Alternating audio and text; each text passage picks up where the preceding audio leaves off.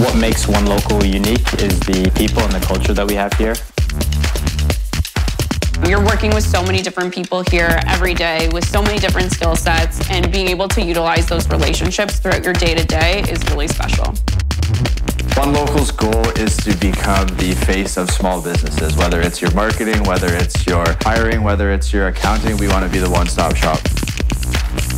Working at a company like OneLocal is definitely a challenge, but knowing that you have the support from your colleagues is definitely one of my favorite things about working here.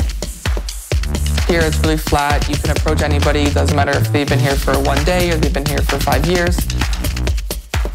It's really easy to go over to, say, the tech team, the customer success, or someone in sales to just walk over and ask a question. OneLocal is unique to other startups because we are a YC-backed company. Y Combinator is actually one of the biggest startup accelerators in the world.